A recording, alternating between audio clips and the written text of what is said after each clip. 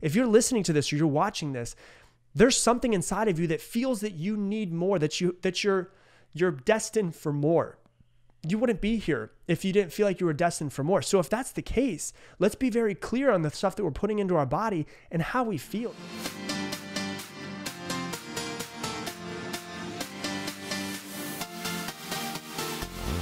Welcome to today's episode of the Mindset Mentor podcast. I'm your host, Rob Dial.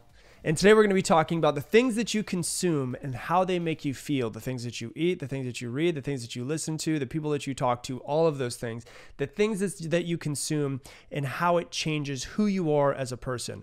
Now, we've all heard the phrase, you are what you eat. Uh, but what exactly does that mean? And I want to dive deeper into it. And I want to talk about the choices that you make, uh, all of the choices that you make and how important all of them are, number one. And number two, how much you actually pay attention to those choices, how intentional you are with everything you do, and how much you might actually be on autopilot and not be even paying much attention to the things that you're putting into your body. And so, before we dive into it, I want to I want to say this from the very beginning. There's absolutely no judgment in anything that I say. Um, I'm just going to tell you how I live my life and what I believe. And uh, if that resonates with you, cool. But if you don't live the same way, or you do hear something that I say that's against what you do at this time, there's no judgment in anything that I say. I'm just giving you uh, my advice based off of the questions that I get asked a lot from other people. And I want to talk about the things that you put into your body. And the reason why is because because most people just consume. You know, we live in a consumer world. Besides just consuming as far as the buying, we just consume and consume and consume. We just eat all the things that we can. We drink all the things that we can. We consume, you know, everything that we can from the earth and destroy it. Like we live in a society where consumption is kind of what we're taught to do. And we don't really pay attention a lot of times to what we're putting in our body. And we don't really think into the future of what it's actually doing for us. And a lot of times, what we really base our decision off of is, as Joe Rogan likes to say, mouth pleasure. Just what tastes good is what we're going to put in our mouth, not thinking about the future or how that might make us feel in an hour or how a lot of these things might eventually turn up into being a heart attack 30 years down the road. We just kind of consume based off of mouth pleasure. And, um, the reason why I bring this up is because I had somebody ask me this question the other day of like, why are you so diligent about being healthy and the things that you eat and not drinking and, and all of this stuff? And I'm not perfect in any sort of way, so please don't think that I'm saying that. Um, I just happen to be very, very diligent on the things that I put into my body in trying to stay away from certain things that make me feel maybe not 100%. And so the reason why, if I'm being 100% honest with you, is because I feel more like I'm a receiver for information than someone who makes up information.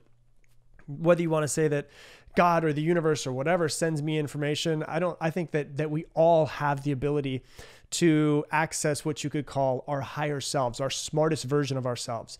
And I think that the more crap that I put in my body, the less that I can get those messages or feel more in tune with who I truly am and truly should be. Now, if it sounds weird to you, I get it. I understand. But the way that I, I, I say it is these podcast episodes, these ideas, all of this stuff, I don't actually want to take credit for it. I don't take any credit for it. And the way that I see it is just I'm basically a receiver for information and I just reproduce that. That's I just get ideas and ideas come into my head. I have no idea where the hell ideas come from sometimes. But what I found is that the more healthy my mind, my body, my spirit, my emotions are, the more that I get clear messages of what I should be making videos and making podcast episodes on. So, once again, there's no judgment based off of what you do. You can do whatever you want with your life, and that's the beautiful thing about being a human. I will not be one of those people that tells you what you should and should not do with yourself. Um, but the way I see it is, and someone was asking me this question, as I was talking to them, I could see a cell phone tower off in the distance. And the the answer that I gave to them, the only thing that really clicked into my head is I was like, well, I'm looking at a cell phone tower off in the distance.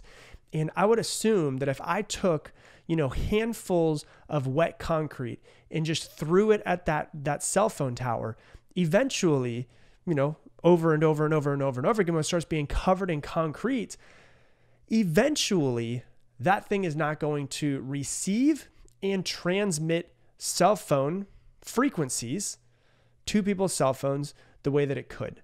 And it's not going to be as good as it possibly could. And and I thought to myself, you know, because with the food that I eat, I try to eat as much vegetarian as I possibly can. Just makes me feel better. That's the reason why I just feel better, you know, as as the way I am throughout the day. But I also feel better as far as in my conscience. I feel better that nothing, you know, no animal had to die for me to be able to get my my protein or my nutrients each day. So you know, I try to do that just because I feel better. Um, the thing that I drink, I don't really drink um, much else besides water. If I do, it's usually flavored water, and then you know once every few months I might have an alcoholic drink or something like that. And uh, and so I pay attention to the food that I eat. I pay attention to the the stuff that I drink, and I also like to pay attention to how much I sleep. Like I will not uh, get anything less than seven hours of sleep 99% of the time. And so like if I have something scheduled in the morning, sometimes if I I'm not falling asleep or something's going on, uh, I will actually reschedule things in the morning to make sure that I get the sleep that I want. Um, and so the reason why is because I want to wake up and I so strongly believe in the mission that I'm working towards and the things that I'm doing that I want to perform at the highest level that I possibly can every single day. And I know that if I go to bed and I have you know, just a really big hamburger, something really heavy before I go to bed, I'm going to wake up and not be as rested as I could be because my body was digesting all of that the entire night. And maybe I didn't get as much REM sleep as I wanted to. If I think about drinking alcohol, you know, I, I actually read it because I was curious. And one thing that I noticed is as I get older, the more I feel alcohol the next day, two days, three days, is that alcohol stays in your system for up to 80 hours. That's over three days. And so, if I really truly believe in the mission that I'm doing and the things that I'm working for, then alcohol is going to be slowing me down. And I can feel the difference, physically feel the difference the next day. And that's just me personally, because I feel like when you um, actually start eating healthier and stop drinking as much, you feel things that are not as good for your body. Uh, and I'll talk about that in a minute. You'll feel them later on and you'll feel them the next day as well. And so uh, the, the question I have for you and the thing that I want you to be considerate of is do you pay attention to every single thing that you consume, number one, and then how you feel a couple hours after eating it, an, an hour after eating, or an hour after drinking? How do you feel? Because the one thing I noticed when I was not at my healthiest is that I was eating and drinking so much crap because I have ate and drank tons of crap and food that I shouldn't have and not taking care of my body and drank a ton of alcohol. All of that stuff is that when you have a lot of crap in your body over and over and over again, normal to me was just feeling tired and having to drink two, three, four, five cups of coffee in a day in order to get through it. That was just normal for me. So feeling like shit was just kind of normal. And I didn't even realize that I was feeling like shit. But now if I go and I eat and I drink those same things, I, I immediately am like, oh my God, I don't feel good. I don't think that this was right. Like, for instance, we don't really eat a whole lot of dairy. The reason why I don't eat dairy is because I get real stuffed up when I have dairy and I can feel myself actually slow down. The other day we had a gluten free pizza and it had real cheese on it. And I literally, within the next 30 minutes, was like, my stomach is not right. And it was just because my stomach wasn't used to this this foreign dairy thing coming in. And so uh, and i love cheese too. I wish that i could eat it like crazy. Uh, i wish that it was it was possible and i wish that you know animals were treated humanely enough in order to to be able to support the uh, the dairy industry but you know in my opinion they're not so i don't and but once again no judgment if you love cheese because cheese does taste amazing but um you know the the thing that I that I do and what I started doing is I started taking my phone and I have Evernote on my phone, I have Evernote on my computer, I have Evernote on my iPad. I have Evernote basically everywhere that I, I'm working or have a, uh, you know, an actual computer or something that I work on.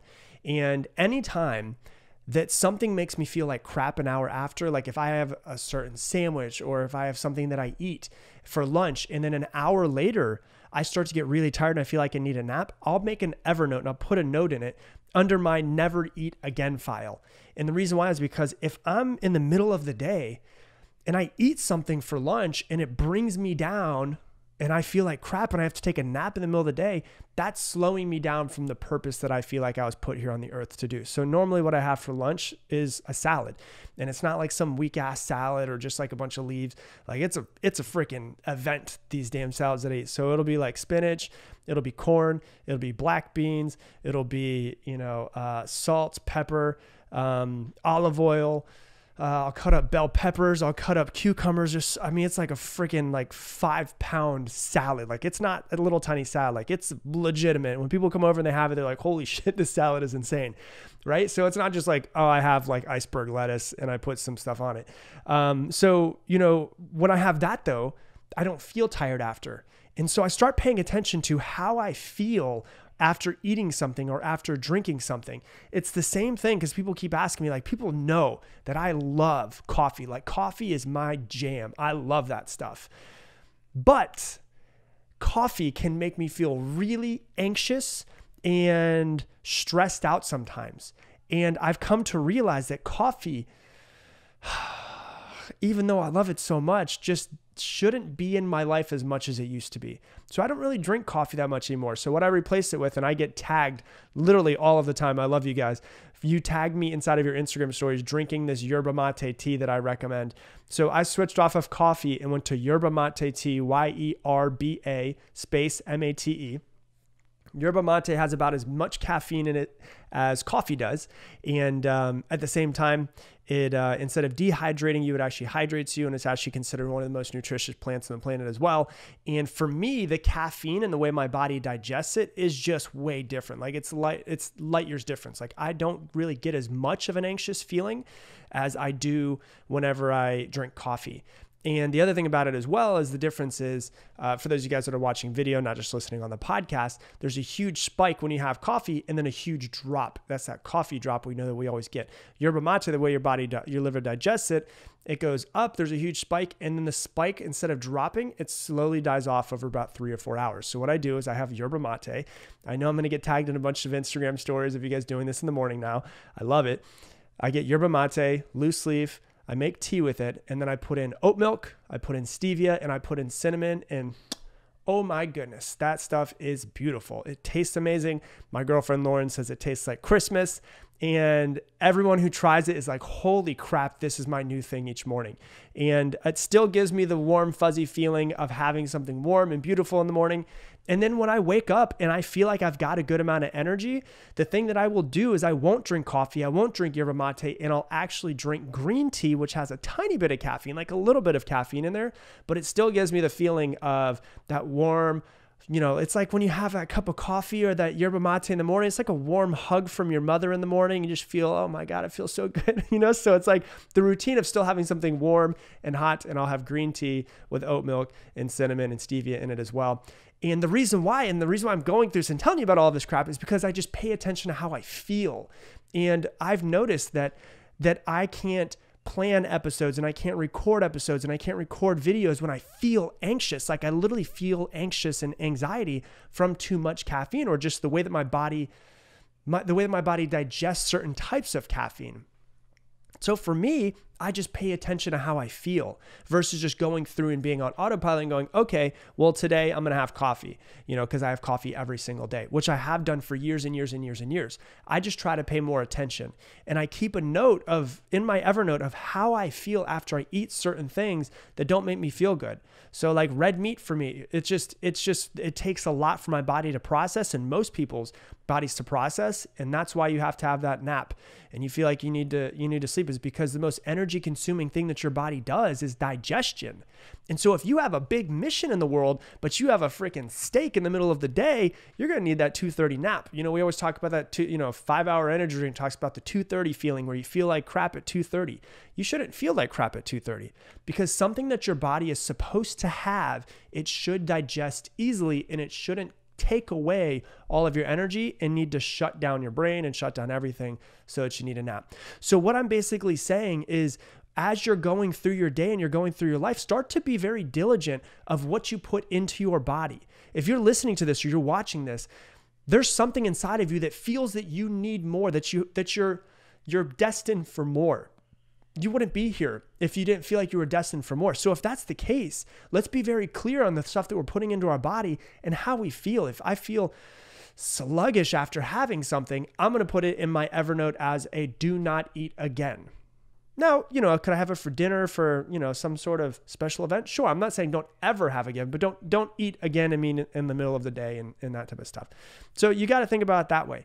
If you're here, you have a mission. There's something, I don't know what it is, but there's something inside of you. It's like, yeah, I've got something that, some mission inside of me of lives I want to impact, things I want to do, all of this stuff. And so if that's the case, let's be very clear on, you know, the food that we're eating, the stuff that we're drinking, the um the stuff that we're consuming as far as the media and stuff that we read and people that we hang out with. You know, like pay attention to the media that you have, whether it's music that you listen to, whether it's the media as far as the news, whether it's the social media and scrolling through people's news feed, the stuff that you read, the books that you read, you know, uh, the people that you hang out with, the morning routine that you have more than anything else, what I've come to put more into my life of is more intention. I try to be more intentional with everything that I do.